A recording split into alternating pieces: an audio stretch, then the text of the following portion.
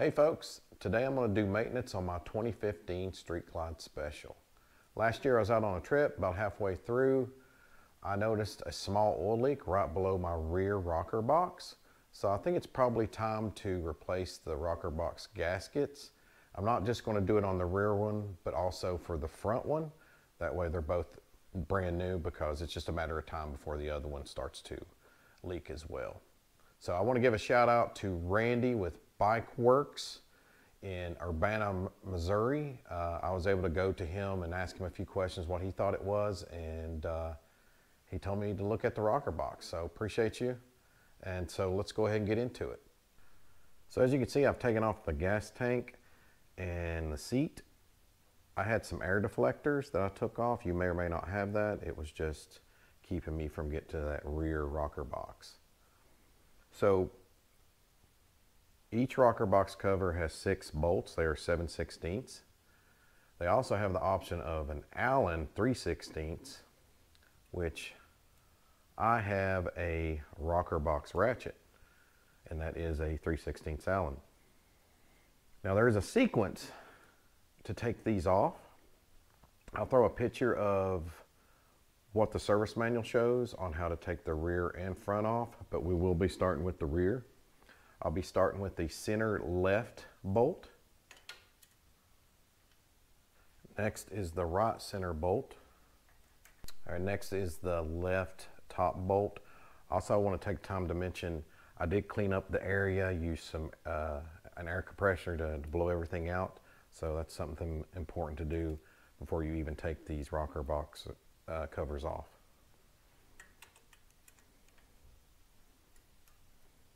All right, next is the right rear. Next is your left rear.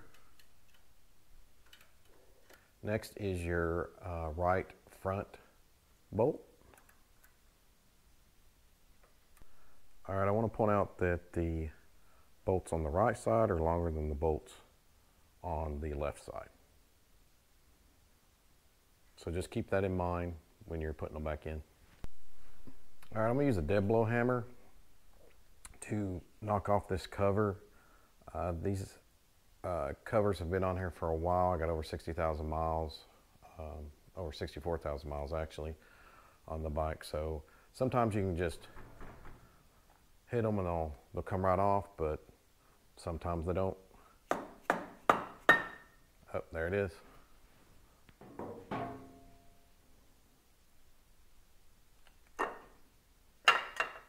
Lift up. And there's the gasket. That's what the inside of the cover looks like. This, I don't see any issues with this gasket. Looks pretty good. That's from me knocking it off. I think the issue is going to be the gasket underneath the housing. I'm going to move on to the front rocker box. As you saw in the picture from the service manual, there's a sequence for this one. It's a little different. So I'm not going to show you that because, I mean, obviously you can figure it out. Um, but I'm going to go ahead and get this taken off and we'll take a look at the gasket there as well. All right, I got the bolts out of the front rocker box. And that little clank will let you know it's time to take it off.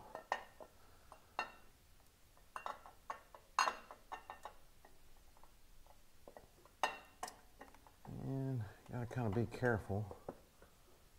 I'm gonna come take it off from the other side.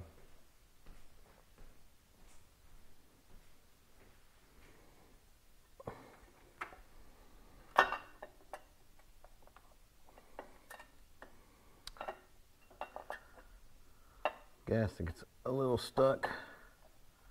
You gotta be careful, it will cut you. and then just wiggle that out of there.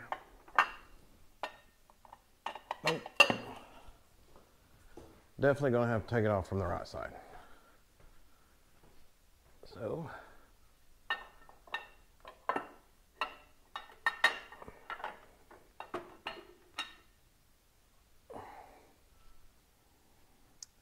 See that gasket? A little stuck right there. But this one don't look bad either. As you can see, I've removed the spark plug wires. I'm going to remove the spark plugs. The reason for this is I'm trying to relieve compression. There needs to be, the tension on the rockers needs to be relieved.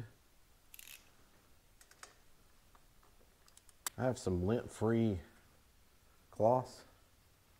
Just gonna stick down in there to keep from uh, any, any debris or anything getting down in there. I want to show you that I raised the rear of the bike with the scissor jack and I got to put the motor in sixth gear so I just need to turn okay now I need to relieve the tension off these rockers in order to do that I got to rotate the rear wheel while it's in sixth gear or if your bike has fifth gear that's what you need to be in so I need the piston to be at top dead center. That means it's at its highest point in the cylinder bore. And what that also means is you're at base circle of the cam. You're not setting on that cam lobe, which pushes your lifters and then your push rods. So what's, what's gonna happen is your intake valve here and your exhaust valve here will be closed at the exact same time. Now there is something called overlap, which means these are open at the same time. But we need top dead center at compression stroke. So I'm gonna go ahead and rotate the rear wheel, which is gonna be a little difficult by yourself. So there is your exhaust valve opening. Now it's starting to close intake valve is opening, starting to close, and just as the exhaust valve is getting ready to open, I'm going to check it right now. Let's see. Okay, that one's, I can move it back and forth. This one I can't move, but I need a little, little bit more. Let's see. Okay, yep, see that? I'm able to move these rockers back and forth. Double check, yep. So the rocker for the exhaust is moving back and forth just fine as well as the one for the uh, intake valve. So now I've relieved that tension, that pressure, I can take off this breather assembly. This is a 3 8 bolt. Now I'm going to remove the rocker support plate bolts. There's four of them, they're half inch. I'm going to leave the breather assembly in there because it'll just be easier to lift everything up at once and take it out. So there is a sequence for these bolts. The first uh, bolt is going to be on the left side and it is the rear and we're only going to turn it a quarter inch.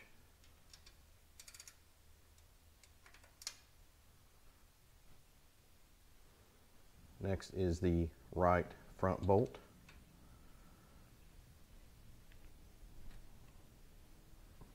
Then next is the right rear bolt.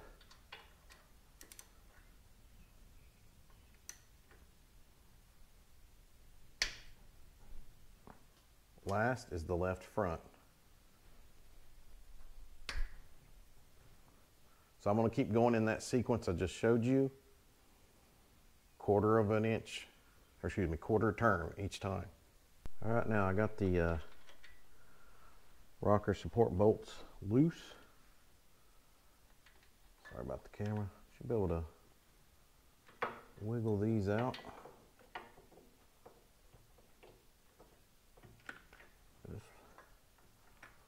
A little bit at a time.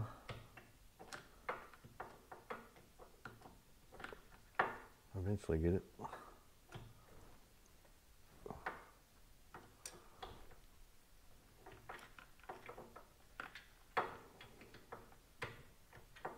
There we go.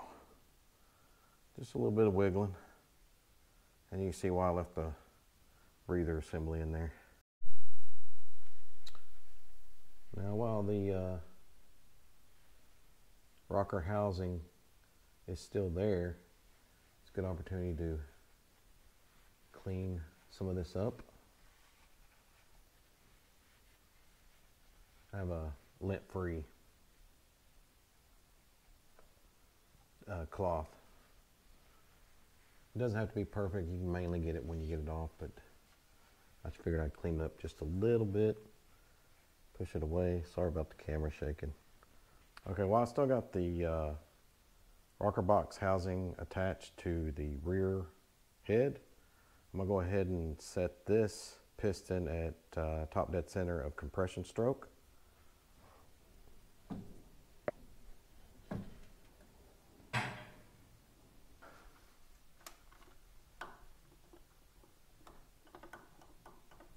So you can see the tension's off this one.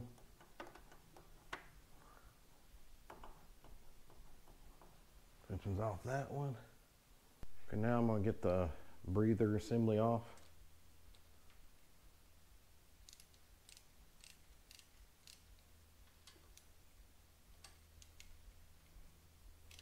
Now that the breather assembly is loose, I need to take off the four half inch bolts for the rocker arm support plates. And it is sequence two, just like the rear. So we'll start with the first one, which is this one right here. And you gotta do one quarter turn. Now that the bolts are loose, you should be able to just lift up, just make sure everything is unthreaded. All right, so I gotta take the six bolts, the 7 16 bolts from the front rocker housing. So the first one is the right rear. I kind of already started on this one. I'm gonna do these evenly. And the second one is your left front. And then your third, third one is gonna be your left rear. And your fourth one will be the right front. Fifth one will be the back rear center, excuse me. And the sixth one will be the front center. And so I'll just continue in that order until these are all evenly completely off. Okay, now I got the all the bolts out. Now I just need to uh, use my dead blow hammer and get the rocker housing off the front.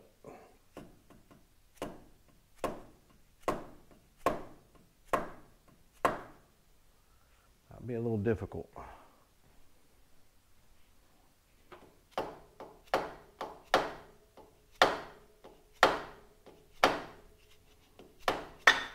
There we go.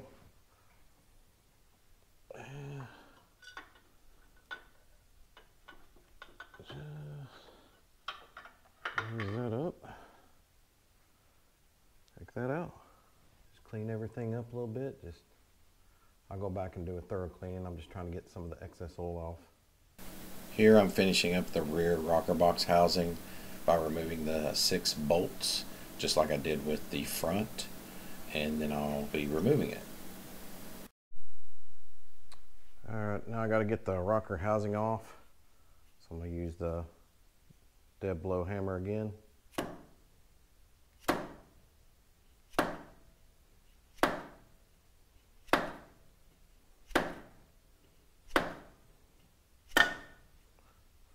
That one took a few whacks.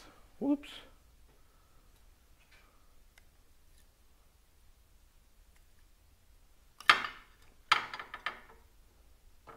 And there we got her. Trying to get all over the place. Yep. I can tell right there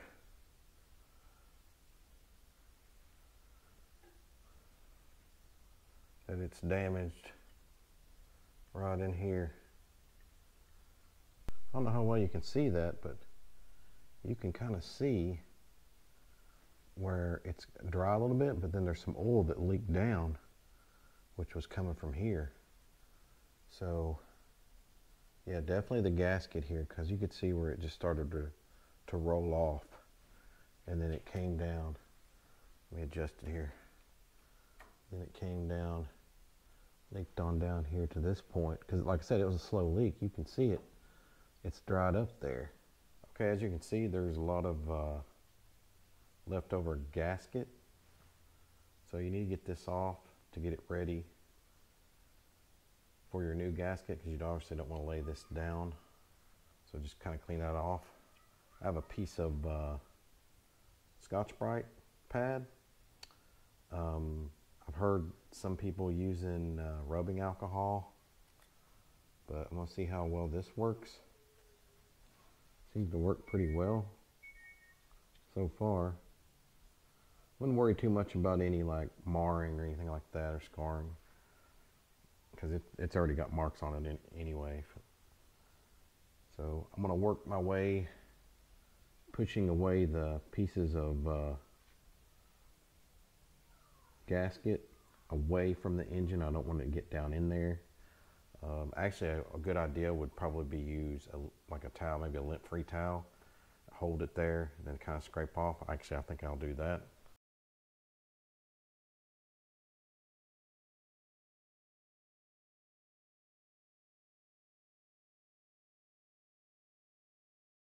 Okay, now that I've gotten the gasket residue off the head, I need to go back with the uh, brake cleaner on each of these bolt holes to get all the oil out, any extra Loctite that might be in there.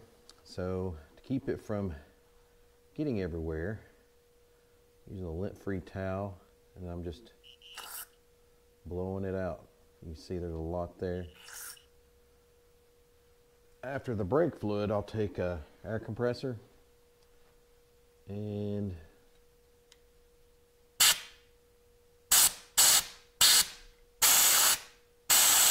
blow the rest of that out. So there's nothing left in there.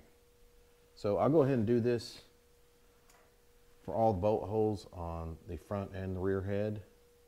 Okay, now I got to get uh, the gaskets off the underside of the gasket housing. I have a gasket scraper. Help me get that off. Isn't too bad. I can tell this one is really damaged from the, the black mark marking. Look at that dirt that got under there. So.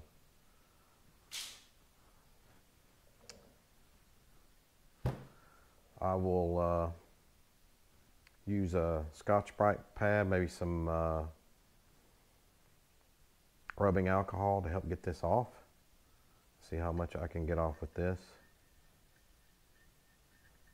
Usually helps pretty pretty well. Get a good the good big chunks off of it, and then uh, go back with uh, Scotch-Brite or combination of that and the rubbing alcohol. So seems to work pretty well. Then once I get through that, I have to go on this side and do the same thing. There's some gasket there to clean this up. Same for both. You'll see some gasket through here as well. That all needs to be cleaned up. Once that's done, I'll be working on the new breather assembly. This whole breather assembly. So I'm gonna go ahead and take this out. Whoops there is the breather there, the, ba the breather baffle, umbrella valve there. Um, this is the breather cover. You can see there's a gasket in that. And there's a gasket in here that needs to be taken off. So you a closer look. That's going to have to be scraped out. It's stuck on there really good. And uh, I bought some brand new breather assemblies. Comes with the bolts and everything. You just got to put them together. And I will show you how to do that real quick.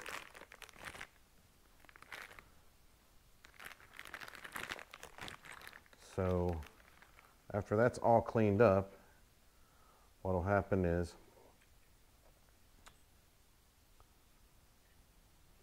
take the baffle. This is your umbrella valve. Make sure you get that in there. All right.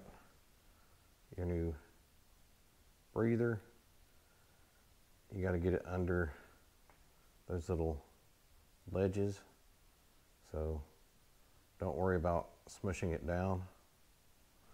All right. So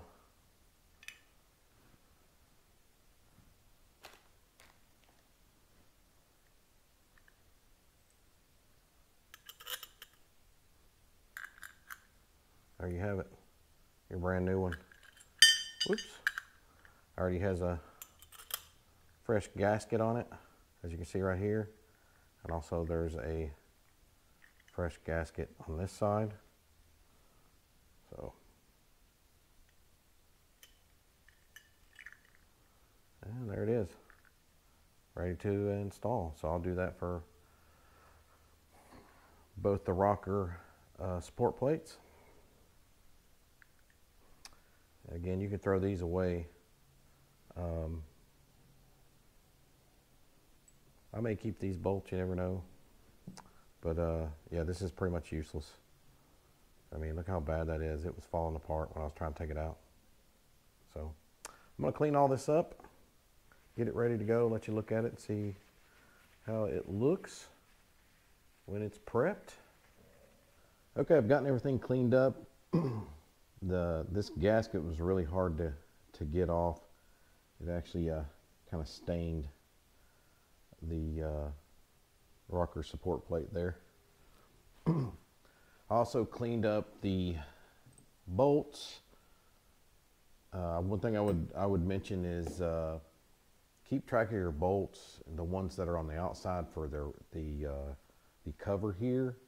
Obviously, there you want to put them back on the cover because uh, some of these are identical as far as uh, like here's one from the the cover and here's one that's from inside. They're identical. Don't get those mixed up because the ones on the outside obviously will have had debris and so forth so.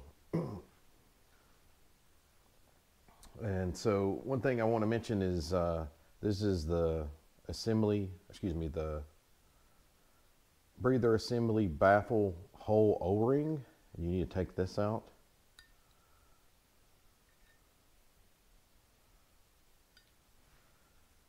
and just toss that, throw that away. Obviously, I'll have to clean that up and I'll put a new O-ring in when we assemble this back in. also, you want to put blue Loctite on these bolts, all of them. Uh, another thing, I'm using Harley's assembly lube. That's what the service manual recommends. So also, if you're going to do this, make sure you have a service manual. So what I'll do is I'll take some of that assembly lube whoops, and I will put it here where uh, the rocker arms or the ear is uh, hitting the valve springs. So I'll put some there, there, and here where it hits the push rods.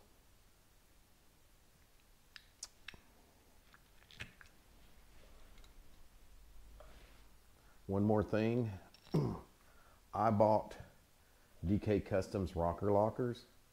So I've already assembled them on all these except for this one right here. You can see not much movement, more movement here. So basically all that's getting rid of that gap. It has a tapered end. and you just put it in, put your the bolt factory bolt that comes with it. Use a washer that comes with the rocker lockers and the nut that comes with rocker lockers and you can just push that down. Eventually it'll feed right into that. So let's go ahead and uh, start with the front and we'll, we'll get this assembled again.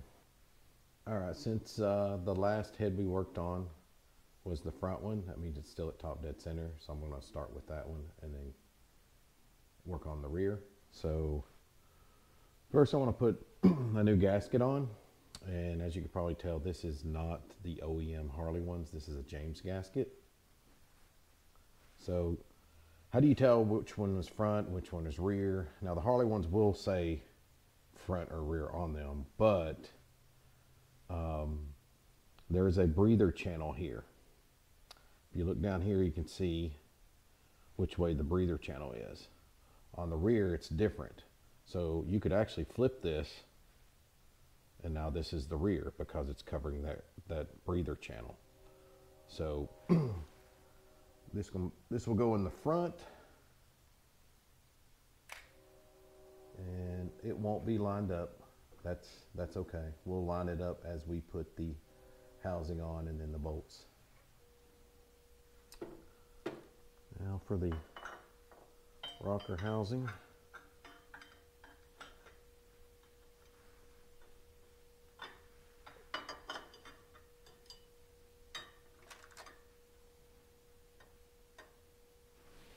I just need to make sure you line up the bolt holes, obviously. Again, blue Loctite.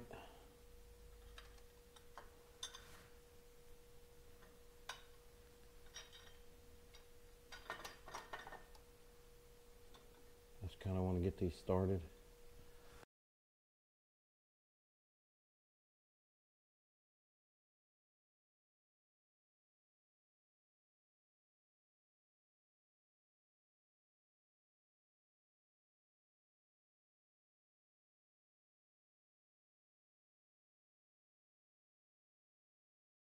Right, so that O-ring that I took out, putting a new one in, I'm actually lubing it up with uh, fresh oil. So that'll go in there.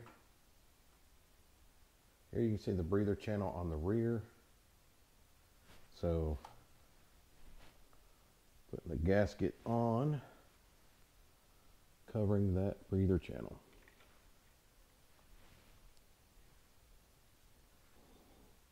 Now for the rocker housing.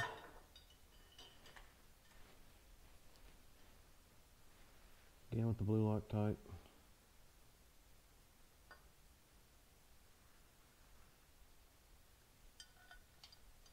And double check your gasket, make sure, yep, that's good. Should come, should line right up. Again, I'm just getting these started. A little hard to get to back here. Before I torque this down, I want to make sure that uh, my support plate, my rocker uh, support plate bolts are going to go in to the holes evenly. I don't want it to create any shavings, so to speak.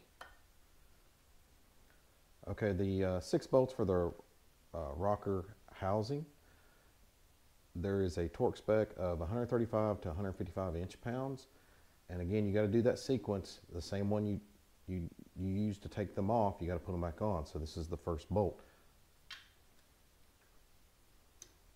So something I wanted to add is that uh, some of these 7 16 bolts for the rocker housing is hard to get to in the, on the rear rocker. So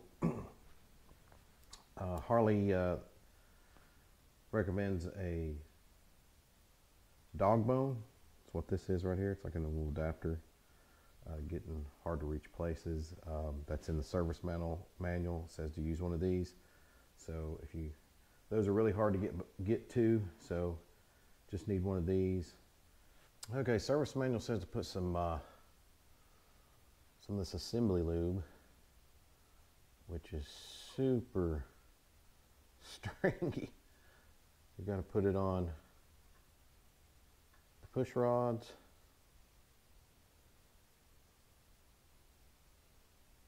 You see how stringy it is, but it's definitely not going anywhere.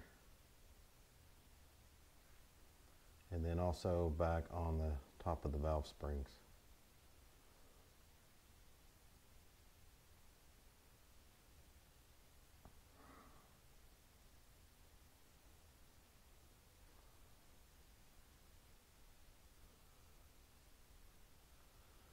This way they're not marred or anything like that.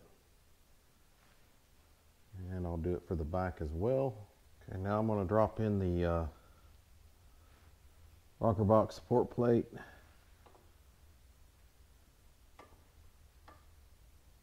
Should drop right in.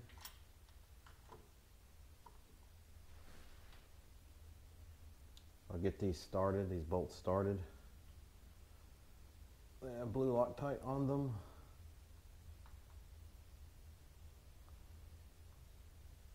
I'm not going to tighten down the uh,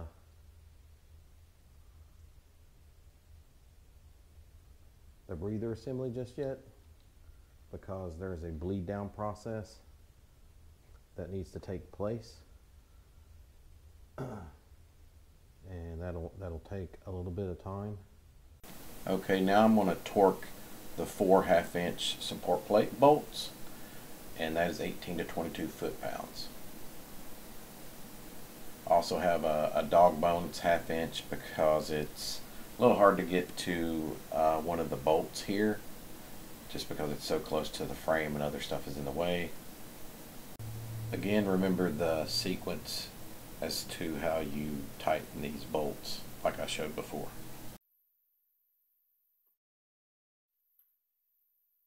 The bleeding process has completed and one way to know that is like before you're able to move the rockers back and forth so now I'll evenly screw down the bolts for the breather assembly. Torque spec on these bolts, these are 3 eighths, um, is 120 inch pounds to 150.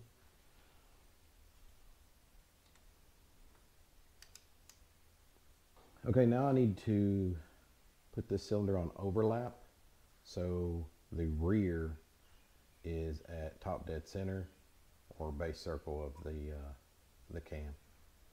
So let me rotate the wheel.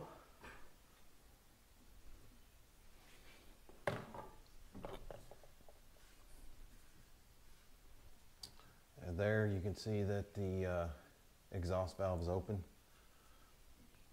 Now it's coming down. And just as the intake valve is opening, this should be on top dead center. the rear should be on top dead center, I should say. So now it's time to work on the rear.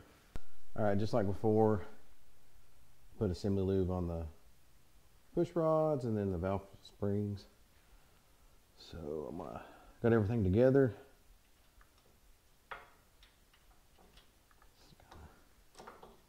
Slide it in.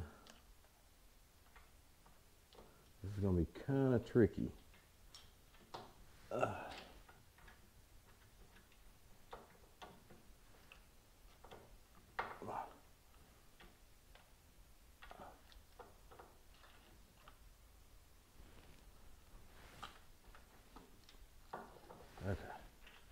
I got it.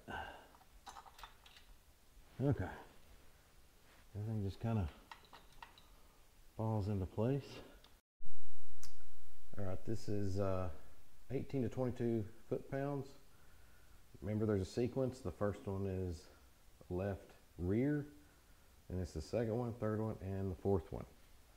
Okay, the support plate half inch bolts are torqued.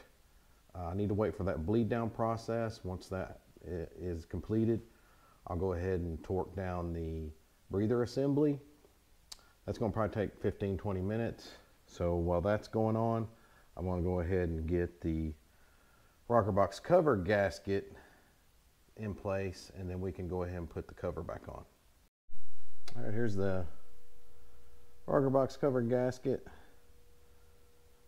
Just remember that the loops on each end are on the left side of the bike. So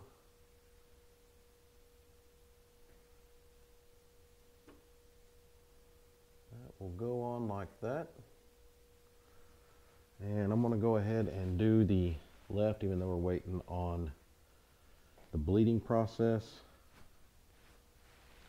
And that's this one, or turn this way.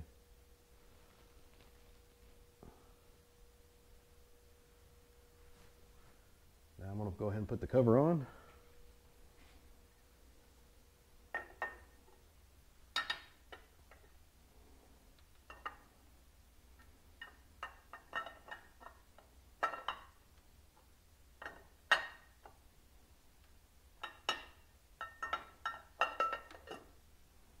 There we go. And blue Loctite, blue Loctite on the bolts. Uh, the longer bolts go on the right side. And the shorter ones are on the left. Just make sure everything's lined up. And just get these started. And again, yeah, there is a sequence, just like we took it off. Same sequence to put it back on.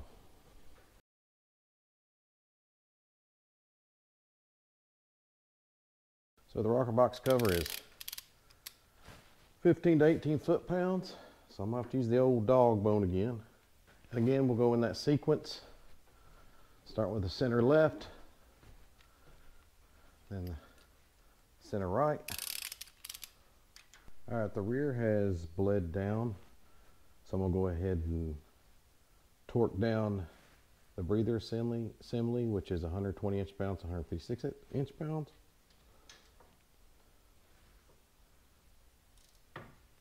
Last one.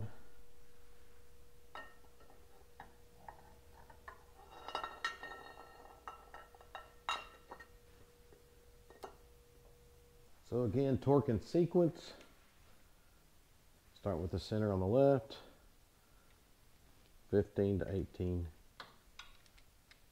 foot-pounds. All right, that completes the uh, rocker box gasket replacement. I just want to note that I did put my spark plugs back in, uh, torqued those 12 to 18 foot-pounds, and I got my bike out of sixth gear. I have it in first right now. Now I'm just going to put on the gas tank air deflectors, and the seat. All right, folks, that's it for this video. Overall, the job really wasn't that bad. The most tedious thing about the job was having to clean all the bolts and the bolt holes, but you got to prep for the gaskets, and it's very, very critical that you clean all the oil out of the bolt holes. You don't want to create any pressure from that oil. You won't get a good torque on those bolts. But started the bike up, runs great, runs smooth. I still need to test ride it. I'll take it out on the interstate, probably put 100 miles on it and get it up to a certain speed, you know, 80 miles an hour, something like that, uh, just to really test out those gaskets, let the bike get hot, make sure that I have a really good seal. But uh, I appreciate you watching. Please like, share, and subscribe, and always rip the ride. See ya.